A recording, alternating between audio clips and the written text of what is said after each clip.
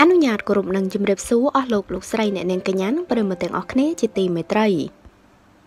ខណៈលោកសានផានិនធ្លាក់ខ្លួនមិននឹកស្មានសេរីមុនខេមនិងខាន់ជេមធ្វើទង្វើបែបនេះដាក់រៀមច្បងស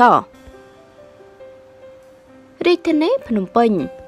ខណៈដែលលោកសានផានិតធ្លាក់ខ្លួនមិនមានភាពល្បីល្បាញក្នុងសិល្បៈដោយពេលមុនមិននឹកស្មានថាតារាចម្រៀង3រូបរួមមានលោកខេមរៈស្រីមុនខេមនិងលោកខាន់ជេម នៅតែបង្ហាញសកម្មភាពរុះរាយរាក់ទាក់ដល់រូបលោកគ្រប់ពេលមិនដែលវេរឹកអ្វីឡើយលោកសានផានិតបានឲ្យដឹងថាសេរីមុនជេមនិងខេមទាំង3នាក់នឹងទោះជាឃើញខ្ញុំនៅឯណាក៏លើកដៃសំពះដែរខ្ញុំមិនចង់ឲ្យពួកគាត់គ្រប់ខ្ញុំទេប៉ុន្តែពួកគាត់ធ្វើឲ្យដោយស្ម័គ្រចិត្តអញ្ចឹងខ្ញុំរំភើបណាស់ដែលប្អូនទាំង3នៅតែគោរពនិងឲ្យតម្លៃបងក្នុងនាមជាសិល្បៈរៀមច្បងម្នាក់ ម្ចាស់បតជាប់រវល់បន្ថែមថាខ្ញុំចាំបានថាកាលខ្ញុំធ្លាក់ខ្លួនខ្លាំងប្អូនប្រុសស្រីមុននេះហើយដែលហៅខ្ញុំ ទៅចូលខារ៉ាអូខេមួយ នៅក្បែរវិទ្យាល័យព្រះស៊ីសវណ្ណចំណែកប្អូនខេមវិញ ពេលទៅច្រៀងនៅកូរ៉េគាត់បានចាប់អោបថតជាមួយខ្ញុំរីឯប្អូនជេមក៏ខ្ញុំមានអនុស្សាវរីយ៍មួយចំនួនជាមួយគាត់ដែរក្រៅ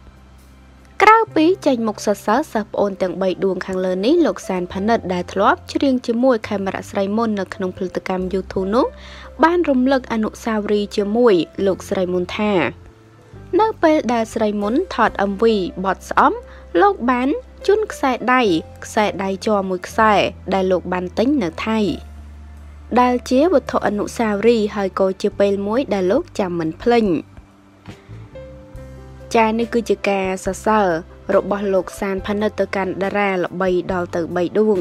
មានលោកខេមរៈស្រីមុនលោកខេមនិងលោកខាន់ជេម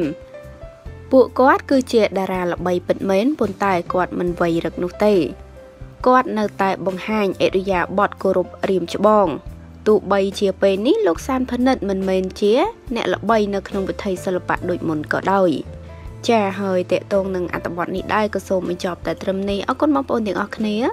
សូមចុច Subscribe និងរូបកណ្ដឹងដើម្បីទទួលបានព័ត៌មានថ្មីៗជាបន្តទៀតសូមអរគុណសូមគោរពលា